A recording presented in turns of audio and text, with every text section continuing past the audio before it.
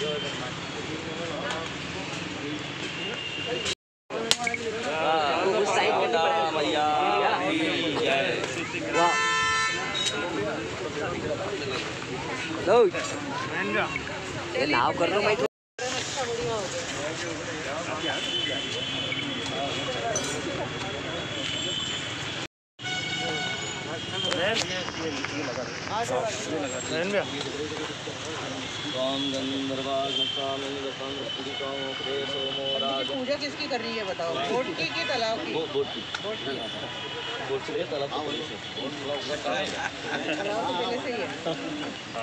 और तो पुल तक। यहाँ वेस्ट ही हो जाएगा यहाँ कोई है नहीं मतलब गाय वाय को खिला दो। राजेश ठीक ठीक ठीक।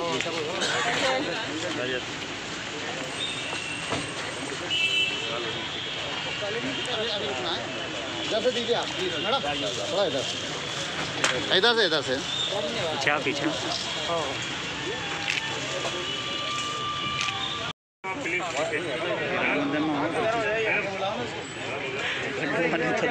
किसी थी खबर?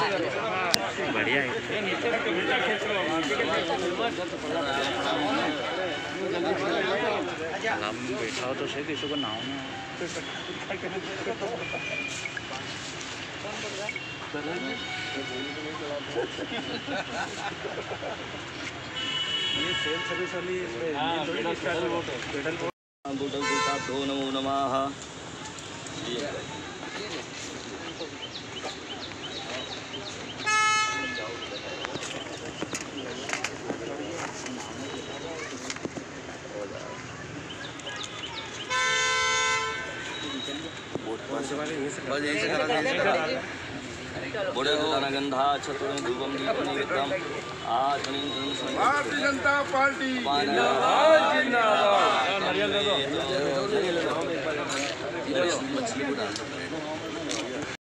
सबसे पहले तो पूरे देवास में तीन करोड़ की लागत से बनने जा रही विभिन्न सड़कों का आज भूमि पूजन किया है राधागंज में भी किया गंगानगर में भी किया।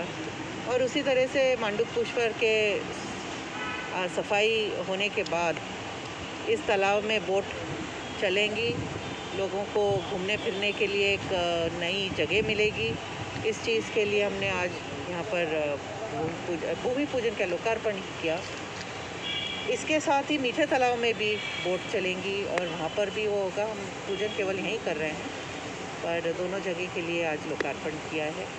तो ये नगर निगम के द्वारा होने वाले इन कार्यक्रमों का आज हम सब लोगों ने काम किया है। आ, पहला एवी रोड पर जो है ब्रिज बनने जा रहा है एक लंबा एक ब्रिज बनने जा रहा है। वो भी एक सौंदर्यकरण का हिस्सा है और मीठा तालाब और मंडू पुष्कर। क्या आ, कहते हैं आपका क्या मानना है कि जब देवास कहीं ना कहीं जो है विकास की ओर जा रहा है?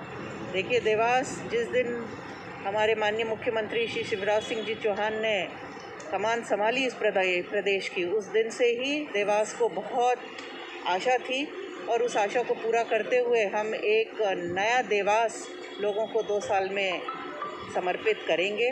दो साल के अंदर आप देखेंगे बहुत बड़े बड़े कार्य, देवास में विकास के कार्य कंप्लीट हो जाएँगे।